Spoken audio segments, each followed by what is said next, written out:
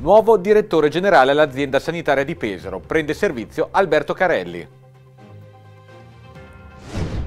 Tari e aumenti in bolletta. Proteste a Pesaro. Viabilità a Urbino. Arrivano fondi per ripristinare la galleria Cagulino. L'Ottocento di Fiorenzuola di Focara riemerge dagli archivi e diventa mostra. Lega Pro a Pesaro, la VIS un modello nel dialogo fra calcio e comune.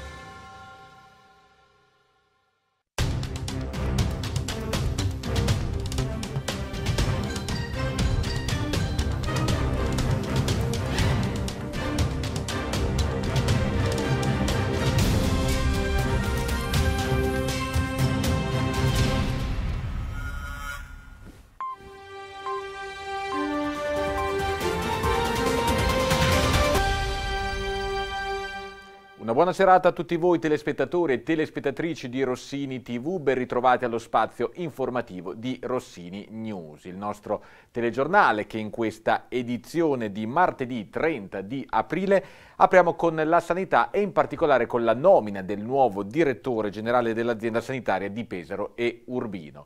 Dopo le annunciate quanto discusse dimissioni di Nadia Storti che andrà in pensione, la Regione Marche ha conferito l'incarico di numero uno della sanità pesarese ad Alberto Carelli, 65enne maceratese, che da un anno era direttore amministrativo dell'azienda sanitaria di Fermo.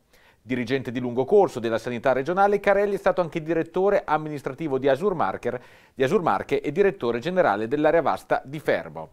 Carelli avrà un incarico di 4 anni ed entrerà in servizio da domani, ma già oggi era a Pesaro per un primo sopralluogo all'ospedale di Muraglia assieme all'assessore regionale alle infrastrutture Francesco Baldelli. Sopralluogo su una delle impellenze più pressanti della sanità pesarese. A breve spetterà a Carelli nominare il nuovo direttore sanitario dopo le dimissioni di Edoardo Berselli.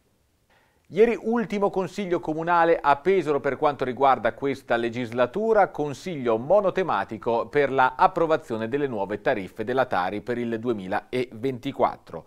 Sono previsti degli aumenti e dei rincari che spieghiamo in questo servizio. La certezza è che la bolletta della Tari aumenterà. Divergenti invece le opinioni in merito a questo rincaro. Per l'assessore al bilancio Andrea Nobili si è applicato il minor aumento possibile che si attesterà per un incremento medio del 4% per le utenze non domestiche e ancora inferiore per quelle domestiche.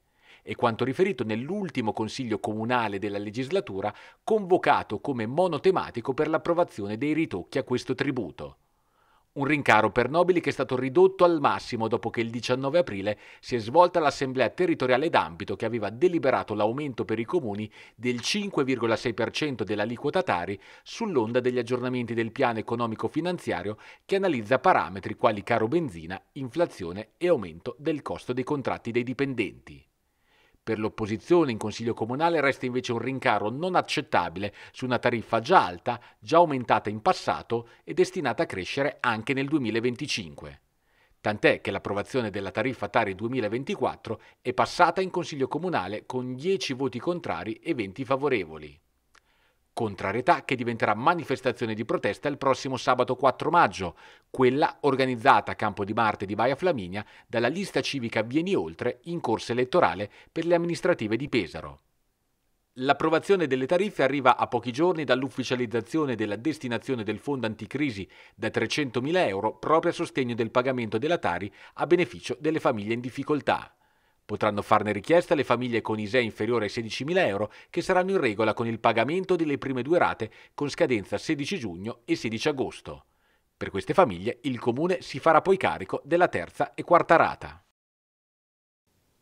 Continuano le indagini della Procura della Repubblica di Pesaro in merito all'utilizzo di sostanze sofisticanti su latte e derivati nello stabilimento Fattorie Marchigiane di Colle al Metauro riconducibile al gruppo Coperlat indagini a carico di nove persone e tre società sui quali sta merito, si sta indagando in merito al sospetto di manipolazione con soda caustica per fermare il processo di acidificazione. I controlli finora non hanno rilevato anomalie sui prodotti immessi sul mercato, ma a breve si passerà all'indagine dei contenuti che emergeranno dai telefoni cellulari sequestrati. Arrivano novità per la viabilità di Urbino in merito alla Galleria Cagulino, teatro di un'immane tragedia stradale a fine dicembre e tuttora riaperta in un solo senso di marcia. Anche voi telespettatori di Rossini TV ci avete più volte chiesto lumi sul ripristino completo di questa infrastruttura che potrà dare concreto respiro alla viabilità del territorio. Ora arrivano importanti stanziamenti che vanno proprio in questa direzione. La viabilità di Urbino intravede prospettive di respiro dopo i due mesi e mezzo di chiusura della Galleria Cagulino e la successiva riapertura parziale in un solo senso di marcia in direzione Fermignano attivata dallo scorso 6 marzo. Sono infatti in arrivo fondi per 4 milioni e mezzo di euro inseriti in un piano da 50 milioni da parte di ANAS per la manutenzione straordinaria delle strade della nostra provincia. Ad annunciare lo stanziamento è l'assessore regionale alle infrastrutture Francesco Baldelli che ha visto da ANAS le risposte che si auspicavano. Risposte alle sollecitazioni di una viabilità territoriale in difficoltà che tende a congestionare di traffico la vecchia strada delle Conce. La Galleria Cagulino fu infatti teatro della straziante tragedia stradale del 27 dicembre, in cui all'interno del tunnel morirono i quattro componenti di un'ambulanza proveniente da Fossombrone che si scontrò con un pullman di giovanissimi in gita proveniente dall'Ascolano. A perdere la vita furono i soccorritori sanitari Cinzia Mariotti, Socoloxa, Stefano Sabatini e il paziente a bordo Alberto Serfilippi. Illesi i componenti del pullman. L'incidente causò un vasto incendio che danneggiò in maniera radicale la galleria. ANAS è intervenuta in tempi celeri per ripristinare almeno un senso di marcia. Ora invece la programmazione di una progettazione di ripristino completo può costruirsi su questi 4 milioni e mezzo di stanziamento. Il programma di investimenti prevede il rifacimento degli impianti di illuminazione e ventilazione distrutti dall'incendio, dispositivi imprescindibili per rimettere a norma il doppio senso di marcia. I tempi di progettazione non consentiranno però di avviare il cantiere prima di fine 2024. Dagli investimenti di ANAS sulle strade a quelli della provincia con 47 milioni di lavori già realizzati o appaltati per viabilità o scuole. E quanto emerso dal rendiconto 2023 dell'ente approvato dal Consiglio provinciale. Secondo il direttore della provincia Domenicucci, per l'edilizia scolastica sono stati destinati fondi per quasi 24 milioni, mentre su strade e viabilità la cifra ammonta a 23 milioni e 200 mila euro. Nel complesso, fino al 2025, la provincia impegnerà 64 milioni e 600 mila euro su 19 operazioni riguardanti l'edilizia scolastica. Il consuntivo si chiude con un avanzo di 15 milioni che include 8 milioni di accantonamenti e 4 milioni e 775 mila euro di fondi vincolati. Il parlamentare Antonio Baldelli ha fatto visita al carcere di Fossombrone confermando l'impegno del governo per la struttura penitenziaria che riceverà un finanziamento di 700 mila euro per attivare 81 nuovi posti detentivi. Un rafforzamento della struttura che si gioverà anche dell'inserimento di ulteriori 18 agenti di polizia penitenziaria. Verrà ufficialmente suggellato a breve un patto di amicizia tra i comuni di Isola del Piano e di Gabicce Mare. Lo annunciano i due sindaci Giuseppe Paolini e Domenico Pascuzzi sulla base di una ricerca storica che ha mostrato come negli anni 70 dalle campagne proprio di Isola del Piano si sia verificato un importante esito migratorio verso il territorio gabiccese creando un rapporto identitario unico che sarà presto oggetto di nuovi progetti comuni. Sarà Gianrico Carofiglio, uno degli scrittori più amati della letteratura contemporanea, il prossimo ospite della rassegna Incontri Capitale. Autore di libri bestseller, tradotti in tutto il mondo e giallista italiano tra i più seguiti di sempre, Carofiglio sarà a Pesaro venerdì 3 maggio alle 18.30 al Teatro Sperimentale per presentare il suo ultimo romanzo L'orizzonte della notte in dialogo con la scrittrice e critica letteraria Giulia Ciarrapica. L'Ottocento di Fiorenzuola di Focara rivive in una mostra che accompagnerà il borgo del San Bartolo fino alla fine di settembre. Vediamo. Documenti inediti emergono dal riordino del Fondo Archivistico di Fiorenzuola di Focara e danno vita ad una mostra documentaria immersiva nello stesso borgo del San Bartolo. Inaugura sabato 4 maggio alle 17, Fiorenzuola si racconta l'Ottocento svelato un lavoro a più mani coordinato da Biblioteca Oliveriana e Quartiere 6 del San Bartolo, che fino a fine settembre racconterà la vita comunitaria del XIX secolo di Fiorenzuola grazie all'impegno degli studenti del Liceo Mengaroni di Pesaro e Isia di Urbino e all'associazione Le Voci dei Libri. È una ricerca d'archivio cominciata nell'agosto-settembre dello scorso anno. Ha visto tante professionalità impegnate nella lettura di questi documenti, nella loro rappresentazione grafica, nella loro trascrizione e interpretazione vocale. Quello che abbiamo voluto fare in questo progetto Fiorenzuola si racconta, l'Ottocento svelato, è una immersione totale dell'archivio dell'Ottocento, dell'allora comune di Fiorenzuola. Un viaggio immersivo totale un open space dove grafici d'autore realizzati dagli studenti dell'Università Isia di Urbino si sposano e si associano con contenuti multimediali, in particolare con i contenuti audio. Un percorso nella storia reso attuale da disegni moderni ma riconducibili a un contesto storico particolarmente interessante anche della storia italiana e della storia di Fiorenzuola di Focara. Abbiamo voluto con questo progetto valorizzare il senso della comunità, una comunità e un senso di partecipazione molto presente in tutti gli atti pubblici che abbiamo trovato in questo archivio del XIX secolo. Grazie a una sinergia tra tante istituzioni e soprattutto grazie anche a un bando regionale appunto finalizzato alla, alla riscoperta e all'inventariazione degli archivi comunali siamo riusciti appunto a lavorare su questa importante e anche consistente documentazione archivistica inedita e così abbiamo tirato fuori insomma, una buona parte della storia del, del comune sopra presso di Fiorenzuola. E l'esposizione eh, appunto vuole raccontare quella che era la vita quotidiana, le relazioni anche interpersonali, personaggi anche più interessanti e anche un po' fuori dalle righe della città, del comune di Fiorenzuola e lo farà in una maniera così molto interattiva grazie anche appunto alla collaborazione con gli studenti dell'ISIA, alle voci dei libri che leggeranno i documenti. E quindi sarà una bella passeggiata perché tutta l'esposizione si svolge all'aperto, sarà una bella passeggiata anche per scoprire il borgo di Fiorenzuola.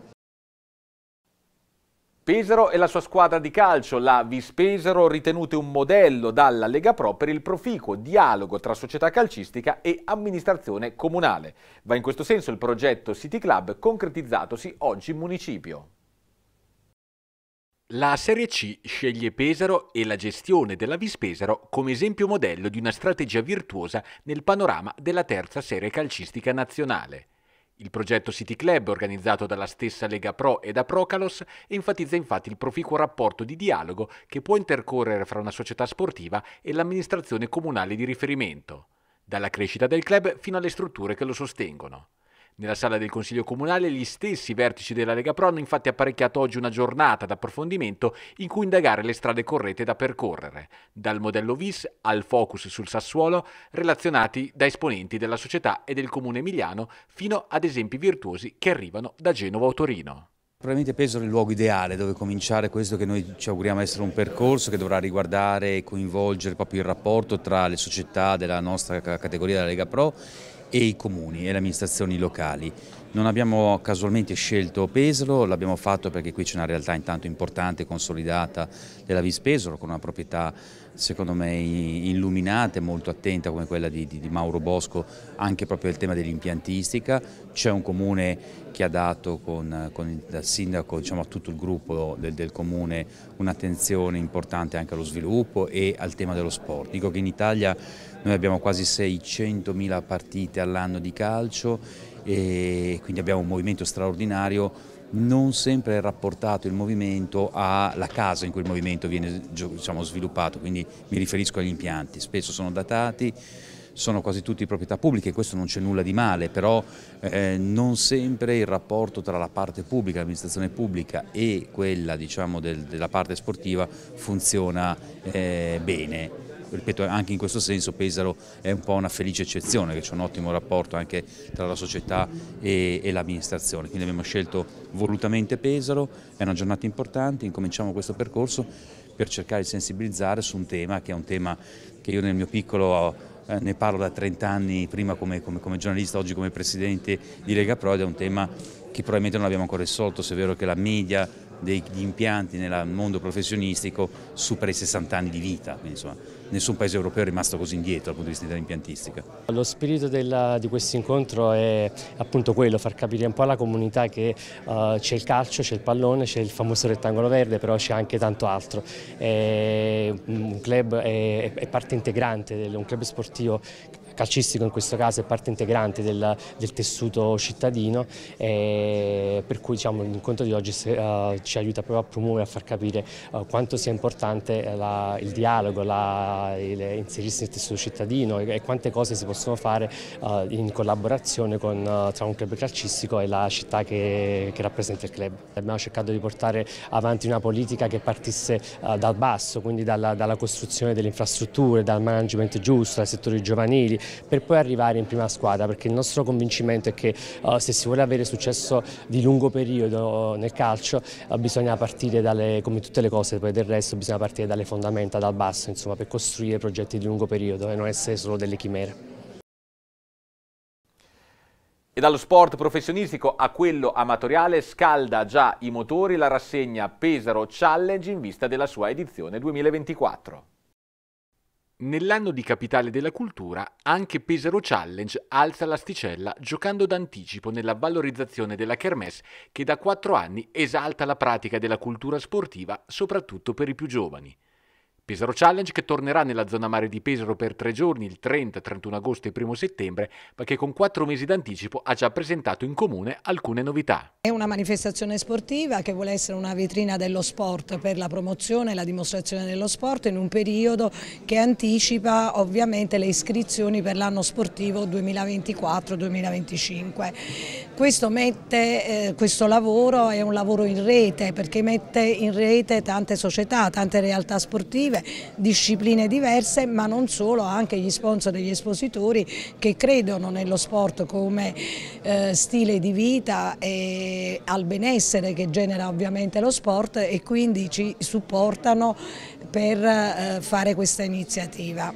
Fra le novità di rilievo l'arrivo della Challenge Card. Abbiamo voluto anticipare i tempi rispetto ai tempi tradizionali per presentare l'evento proprio per dare possibilità alle società sportive di lavorare sull'obiettivo che è quello di aumentare i contatti durante la manifestazione. La Challenge Card è l'idea con la quale raccogliere contatti per poter poi utilizzarli al momento in cui si torna a fare sport in palestra. L'obiettivo è stimolare lo sport, dare la possibilità agli sponsor di avere la massima visibilità e soprattutto a tutti i cittadini, a tutti i visitatori della manifestazione di provare tante discipline sportive in quei tre giorni che saranno tre giorni di Open Day a cielo aperto. Challenge Card servirà per girare nelle varie postazioni, raccogliere ovviamente le prove fatte e alla fine sarà eh, premiata con un gadget, un piccolo ricordo dell'evento per ricordarsi che mettersi in gioco molte volte premia. Poi sarà spendibile anche in attività commerciali che stanno contattando per aderire a questa nuova iniziativa. E concludiamo con la musica e i testi immortali di Fabrizio De André in uno spettacolo che si terrà questo weekend al Teatro Cinemastra di Pesaro. De Andrea è uno spettacolo musicale in cui verranno eseguite le canzoni di Fabrizio De André riarrangiate in chiave più sperimentale elettronica. Quello che abbiamo fatto è eh, appunto riarrangiare i brani di De André eh, con un altro sound, eh, mantenendo testi e armonie e cambiando totalmente le atmosfere sonore. Presenteremo questo concerto il 4 e il 5 maggio al Cinemastra di Pesaro dalle 21. Con me sul palco ci saranno Pedro Megna Peraza che farà le percussioni e chitarra, Edoardo Martinelli basso e chitarra, Francesco Verardi alla tastiera ed Enrico Greenwood che si occuperà del suono in generale, quindi ci farà sia da tecnico sia mi ha dato una mano negli arrangiamenti. La particolarità eh, di questo spettacolo è la fusione tra eh, il mondo della musica elettronica, arrangiamenti pre-registrati in studio e eh, live music, quindi quello che gli strumentisti suoneranno durante gli spettacoli. Oltre alla musica ci saranno anche momenti di poesia e teatro a cura di Diego Pulzoni che farà tutta la parte della narrazione e appunto curerà questi momenti eh, di intermezzo fra la musica. Quando abbiamo pensato a De André eh, ci è venuto in mente che indubbiamente eh, si è trattato anche di un poeta, eh, ce l'ha dato prova nei suoi testi e quindi abbiamo avuto questa idea eh, di unire eh, alcune forme di teatro, di poesia a questo spettacolo eh, per donare anche un che di novità. Ne approfitto per dire che questo sarà il primo spettacolo presentato dalla nostra nuova associazione culturale, il cui nome è Aural. Potete contattarci al 379 2199 992 oppure su Instagram Facebook sotto nome Aural Frequency. Si conclude qui questa nostra edizione del telegiornale Rossini News. Prima di salutarci vi ricordiamo la nostra prima serata che come ogni martedì è dedicata alla politica con il nostro format amministrando che ci avvicina alle elezioni dell'8 e 9 giugno. Questa sera negli studi del nostro Luigi Benelli si parlerà di elezioni europee con due candidati in merito a questa tornata elettorale, ovvero Alessia Morani, candidata alle europee per il Partito Democratico, e Carlo Ciccioli, candidato invece per Fratelli d'Italia, appuntamento alle 21.20. Vi ricordo che domani, primo maggio, festa dei lavoratori, non ci sarà Rossini News, ci sarà però l'informazione di Buongiorno Rossini, la nostra rassegna stampa dei quotidiani locali, come sempre in diretta dalle 7.20, rassegna stampa del primo maggio che sarà condotta dal nostro Paolo Pagnini. Ed è invece tutto per questa sera per quello che riguarda l'informazione di Rossini News. Vi ringrazio per averci seguito e vi auguro una buona serata e un buon primo maggio in compagnia dei nostri programmi.